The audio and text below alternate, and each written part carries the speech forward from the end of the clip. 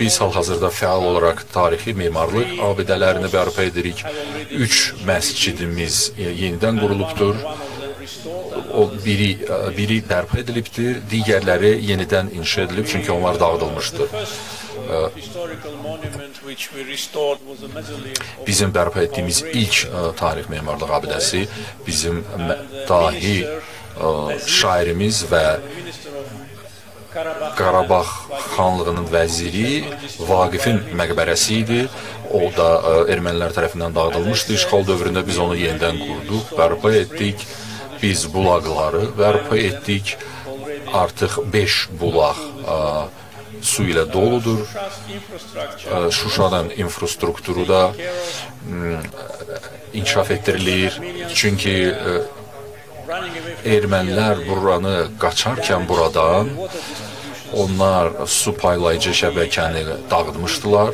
Ona görə də biz sıfırdan şəhərə yeni su paylayıcı sistem qurmuşuq. Ümumiyyətlə Şuşa şəhərinin bütün infrastrukturu, yeni yollar ə, yaradılıbdır ə, baş plan çərçivəsində. Ə, bu ilin sentyabr ayında biz min yerlik məktəbin açılışını edəcəyik. Min şagirdlik və 90 çarpayılıq xəstəxana da bir neçə aydan sonra hazır olacaqdır. İlin sonuna qədər hazır olacaqdır. Şuşada hər şey baş plan əsasında edilir. Bu da şəhərə imkan verəcəkdir ki, o daha gözəl olsun. Yəni heç vaxt olmadığı qədər gözəl olacaqdır. Çox rahat, müasir şəhər olacaqdır.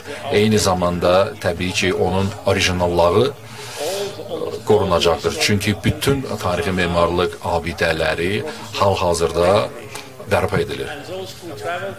Və Şuşaya səyahət edən insanlar burada tez-tez dəyişikliklərin şahidi olurlar, çünki bu şəhər gündən-günə gözəlləşir. Bəzi söküntü işləri hələ də qarşıdadır, çünki Sovet dövründə tikilmiş binalar var və onların dözümlülüyü bizə imkan vermir ki, onları yenidən istifadə edək, istismara verək. Ancaq Şuşanın baş planı möhtəşəmdir. Hesab edirəm ki, 3-4 il ərzində